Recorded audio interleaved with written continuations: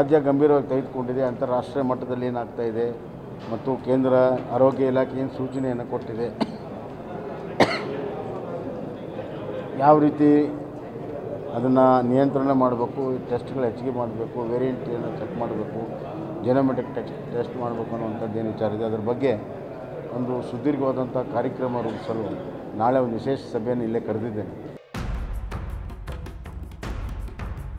Corona ಮುಗಿದಿಲ್ಲ, mask ಧರಿಸಿ booster dose ಹಾಕಿಸಿ ಅಂತ ಕೇಂದ್ರ ಸಲಹೆ ಕೊಟ್ಟಿದೆ. ಹೌದು, ವಿದೇಶಗಳಲ್ಲಿ ಸೋಂಕು ಹೆಚ್ಚಳವಾಗ್ತಿರುವ ಹಿನ್ನೆಲೆಯಲ್ಲಿ ರಾಜ್ಯಗಳಿಗೆ ಅಂತಾರಾಷ್ಟ್ರೀಯ ವಿಮಾನ ಪ್ರಯಾಣಿಕರಿಗೆ ರ್ಯಾಂಡಮ್ ಟೆಸ್ಟ್ ಮಾಡಬೇಕು ಅಂತ ಹೇಳಿ ಕೇಂದ್ರ ಸರ್ಕಾರ ಸೂಚನೆ ನೀಡಿದೆ.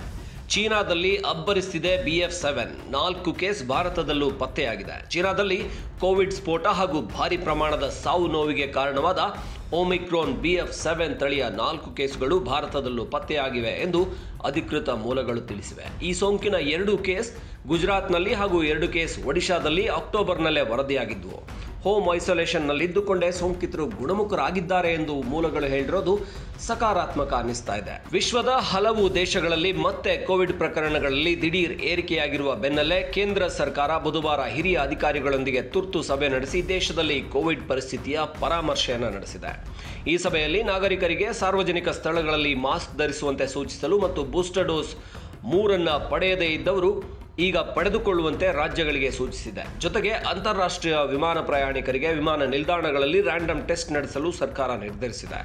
ಅಲ್ಲದೆ ಕೋವಿಡ್ ಪ್ರಕರಣಗಳಲ್ಲಿ ತೀವ್ರ ಕಟ್ಟೆಚ್ಚರ ವಹಿಸುವ ಬಗ್ಗೆ ಪ್ರಕರಣಗಳ ಮೇಲೆ ಕಣ್ಗಾವಲನ್ನು ಇನ್ನಷ್ಟು ಬಿಗಿಗೊಳಿಸುವಂತೆ ಅಧಿಕಾರಿಗಳಿಗೆ ಸೂಚಿಸಿದೆ.